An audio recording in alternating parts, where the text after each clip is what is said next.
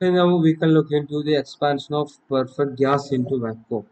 Consider 1 gram molecule of gas rushed into an evacuated vessel. During this process, the volume changing from V1 to V2.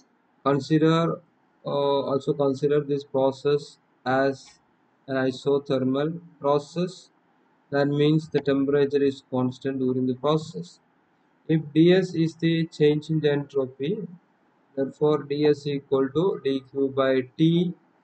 Dq we, we already know that dq equal to du plus uh, dw dw is pdv during the isothermal process we can write dq is equal to pdv so pdv by t then pv we know that pv equal to rt then p by t we can write as r by v dv okay. Then PD where PdV is the work done by the gas against the pressure P during the small increase of volume dV. Therefore, change in entropy of the gas for the whole expansion V1 to V2 is S2 minus S1 equal to integral V1 to V2 R dV by V equal to R log V2 by V1. Here R is a positive quantity and uh, we know that v2 is greater than v1 therefore s2 minus s1 must also be positive.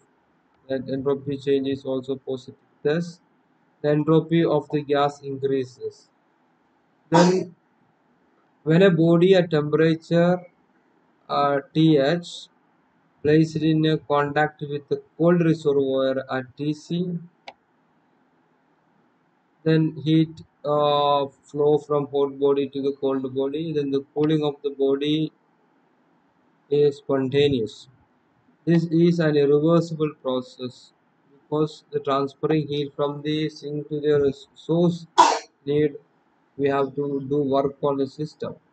In this process entropy is lost by the body and the entropy is gained by the reservoir the entropy lost by the body is, is given by Cv log Th by Tc and then the entropy gained by the reservoir is given by Cv into Th minus Tc by Tc.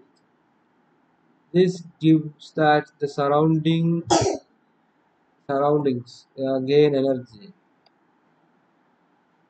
Therefore, we can say that the entropy of the universe is also increases.